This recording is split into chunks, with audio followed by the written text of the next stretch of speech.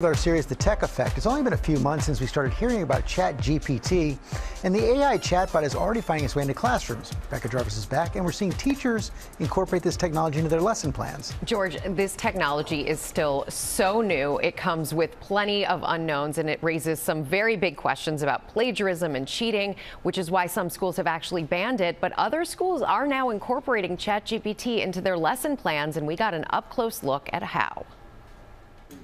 These fifth grade students might look like they're doing an average writing assignment. Ooh, what do you think? But their prompt wasn't created by their teacher.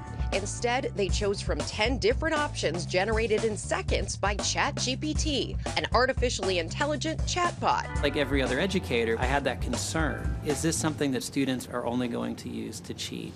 So I started to think about like, okay, what role is AI, artificial intelligence, going to play in the classroom? Kentucky Teacher of the Year Donnie Piercey let us peek inside his Lexington fifth grade class where they utilize ChatGPT in a number of ways. From grammar exercises like Find the Bot, where students have to guess which paragraph was written by ChatGPT versus their classmates. These jump out is like, ooh, I'm pretty sure it's not that one.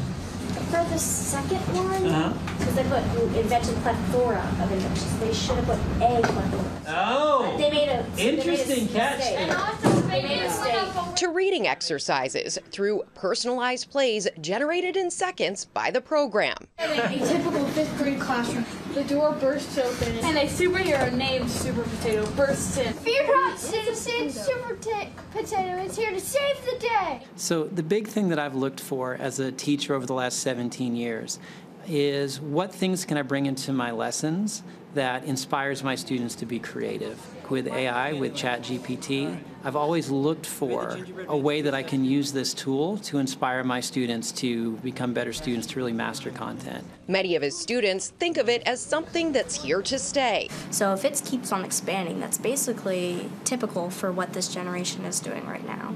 I feel like it could evolve a lot over time. If you keep AI like safe, going to be really helpful. And it's not just elementary school. Across the country in Oregon, mother and son teachers Tobin and Sherry Shields utilize it at the high school and collegiate level. is going to make our educational system more accurate and it's going to make it more interesting and more accessible and more creative. Where I think a lot of educators think it's going to do the opposite.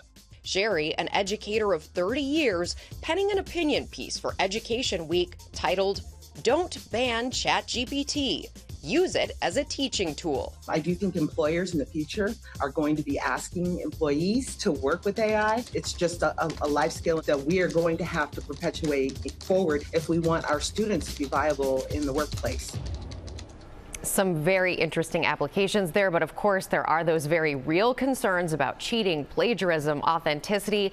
OpenAI, the company that created ChatGPT, has also created what they call an AI classifier. That is a program that can essentially decipher whether text was written by AI or by a human.